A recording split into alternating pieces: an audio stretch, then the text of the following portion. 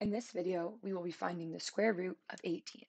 In order to find the square root of 18, we first need to review an important math concept. The square root of a times b is equal to the square root of a times the square root of b, meaning that if we take the square root of two numbers multiplied by each other, we can then separate it out into individual square roots of each of those numbers separated by multiplication. Now we can apply that to 18, but first we need to look at the factors of 18. Factors of 18 include 9 and 2, so I chose 9 because 9 is a perfect square. We can then rewrite the square root of 18 as the square root of 9 times 2, which then using our math rule, we can separate into the square root of 9 times the square root of 2. The square root of 9 is 3 because 9 is a perfect square and 3 times 3 gives us 9. So now we can rewrite the square root of 18 as 3 times the square root of 2, which is a simplified version of this square root.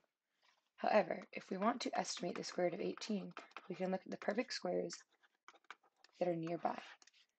So we can take a look at 4 squared, which is 16, and 5 squared, which is 25. And because 18 lies between 16 and 25, we can write the following inequality.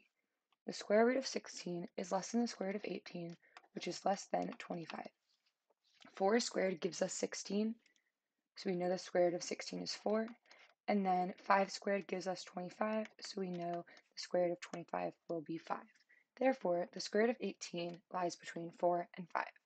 In order to find the value the square root of 18 is most close to, we can take a look at the difference between the perfect squares and 18.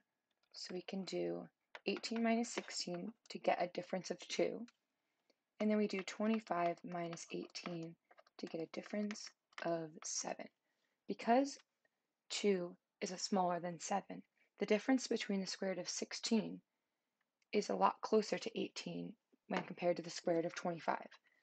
Therefore, the square root of 18 can be approximated to about 4.